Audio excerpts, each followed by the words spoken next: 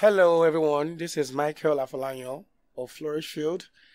And um, today I'm excited to tell you that we are going to be learning how to create a variable and then use variable in mathematical operations. So now let's get started.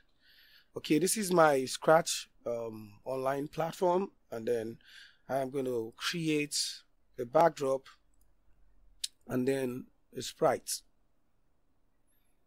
All right, I'm going to pick a sprite. So um, first, I'm going to pick Giga. Now, this is Giga right here. So, the question is, what is a variable? Okay, a variable is a container that keeps data. Right. For example, if you want to add five numbers together, like what I have right here, if you have five numbers together, you need to create a variable for first number, which I'm doing now, second number, third number, fourth number, and then the fifth number, and then call all the variables together and then use the data in that variable to get your value. All right, I'll explain that better in the Scratch project. But really, a variable is a container that stores things. Now let's implement that in Scratch. To create a variable in Scratch, all you need to do is just to uh, navigate your pointer to variables, and then you see you see um, a block of code right there called make a variable. All you need to just click on that and then it's going to say what's the name of the variable. In this case, we are saying first number is the variable. Now, this is the variable for the first number and then we do that for second number, third number and then fourth number till we get to fifth number. So this is second number. We do that for third number, third number. Um, oops. I think I'm a bit fast. Fourth number and then the fifth number. Alright so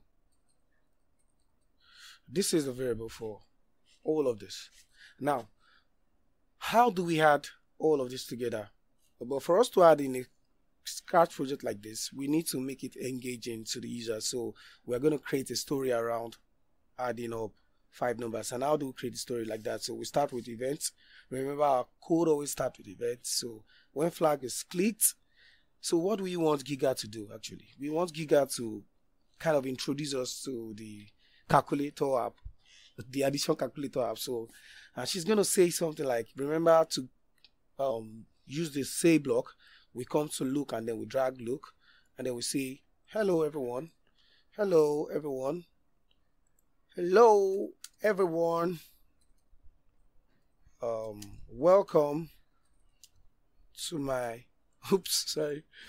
Welcome to my audition app. Welcome to my audition app. And then you could actually make that for five seconds. And then she's going to say another thing. Uh, this app will help us help us add five numbers. Numbers. Okay.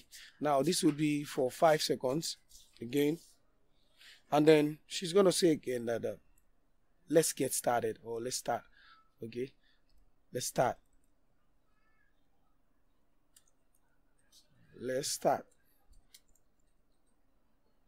Now she's going to say that for like three seconds. Now all she's going to be doing here is just to say that, okay? All right. So after doing that, it's just to create a story around it. It's just to make the app more fun. So the next thing she's going to do is to ask the user for values. All right. So to do that in Scratch, actually, you just move your pointer to sensing. Now, in this sensing, you're going to see a block of code called ask. Now, whenever you want to ask and get response from from a user, uh, you use that code. So we just drag this now and then we put it under the code. But this time around, we're going to be asking for the first number. So all you need to do is just say input the first, the first number. And then when you say input the first number, this would actually wait for an answer, which is this.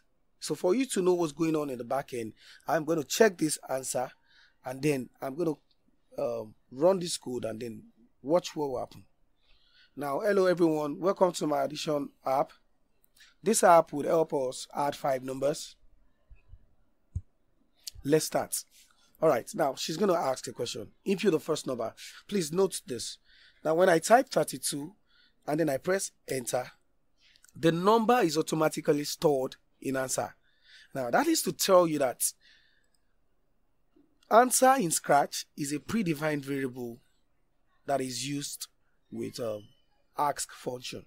Okay, so this answer is actually a predefined variable. It's already defined and um, attached to this um block of code already so we can use it for ask so to implement this all we need to do is just to to make the value that we typed in here fall inside first number all we need to do is just to come to variable and then drag this set first number now you're changing this to first number and then you're assigning the first number to what answer that is the number you just typed in Okay, now let's run it again and see what happens now, right now. So everyone, welcome to my additional app.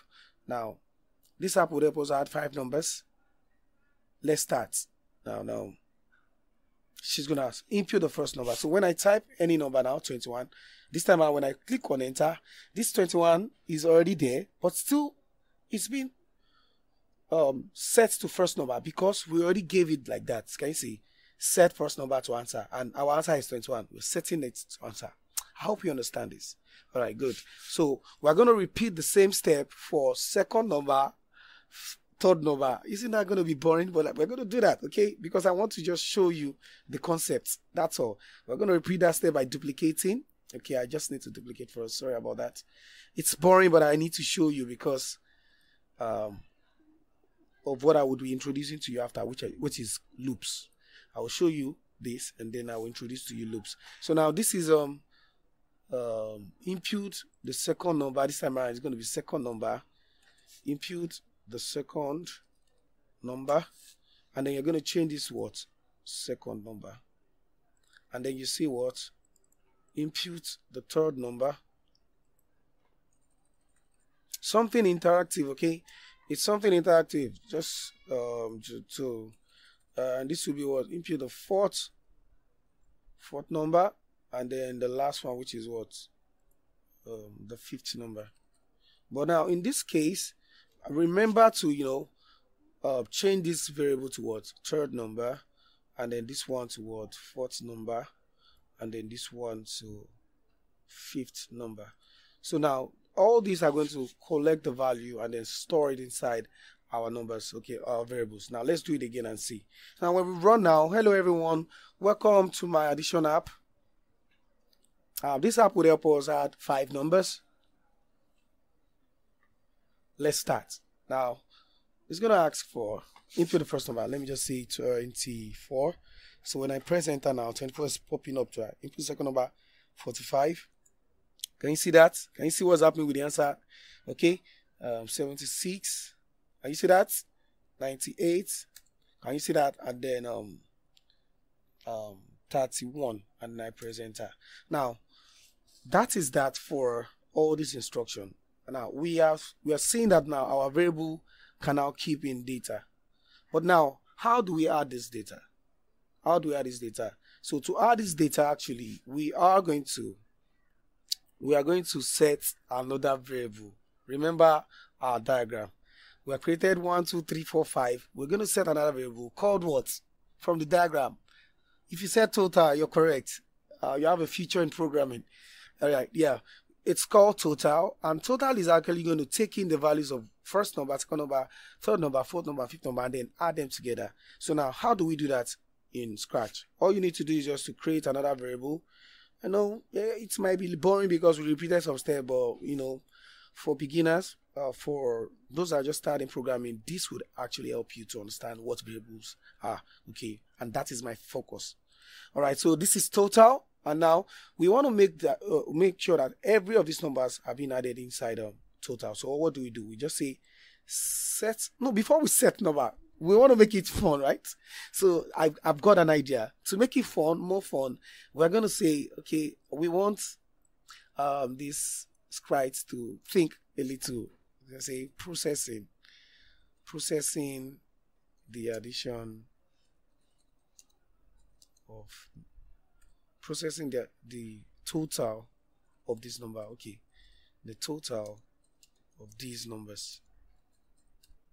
You know, kind of like thinking, uh, like the, the sprite is thinking. Okay, now processing, and then we can now say what um, we set. We're going to set the total now. We're going to set the total to be equal to what? If you thought about saying addition of the five numbers, you're correct. So now we're going to go to operators and then take this plus sign and then put it inside this. But now in Scratch, we are limited with this that okay, this can only add two numbers. So to extend it to five numbers, you're just going to drag it one more time and then put it inside this. Again, you drag, you drag again one more time and then you put inside this and then you drag one more time and then you put it inside this. So we have five numbers and then we're going to put in our variables in these five numbers. So we're going to say um, first number, we put first number inside this place. Second number, be careful with the way you do it. Can you see that white uh, stuff around that oval shape? It shows that it's ready to enter that place, okay? And then third number, we put it inside. Okay, we could make this a bit smaller so that we can see our values clearly. And then we put in the fourth number inside this one.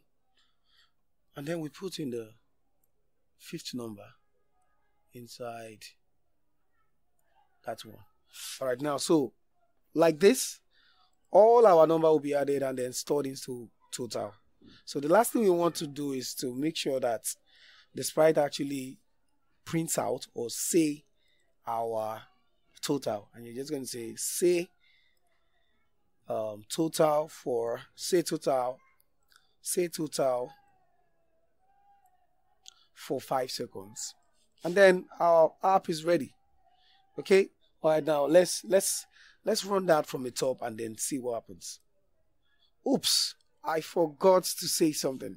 Now when we're running it from the top you notice that um, you notice that our numbers are still the same the same way we actually started. The reason is because we failed to initialize our number. We, we want it to be that whenever we click on the flag we want our numbers to be set to zero. To do that you just come right there and then you just say set first number. We want to set first number to be equal to zero? Set second number. Why not just duplicate? I'm wasting too much time. Duplicate. And then duplicate. And then we duplicate one more time for total we want total also to be so we have all of them like this. And then we're going to set first number. This will be second number. This will be third number. This will be fourth number. This will be fifth number. And then we want to say our total. Now like this our our code is ready well it's a bit long and then we're doing some things. We're repeating some steps. Well, well let's just continue. I'm going to tell you something after. Now let's run it from the top and then see. You see everything is set to zero.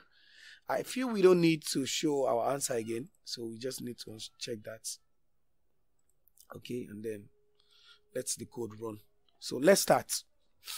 All right so it's asking for the first number then i say 32 second number 45 third number 65 um 12 and then 34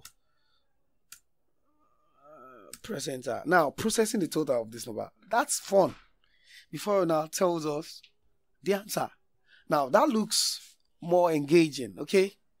Or we could actually improve the code by saying um, your answer is we could actually make it say uh, we could just say uh, the sum of these numbers of these numbers is da, da, da, da, da, da. and then say that for some of these number that's three seconds and then so that will be more fun. Now let's check it one more time and then that will be all for today. Okay. All right. Today, while we're checking it, I just want to do a recap. Today we've learned about what a variable is and how to implement variables in Scratch and how to use variables. Now, variables are really important in Scratch, and that's what we've actually done right here. So you see 23, 32, 56, 65, 76.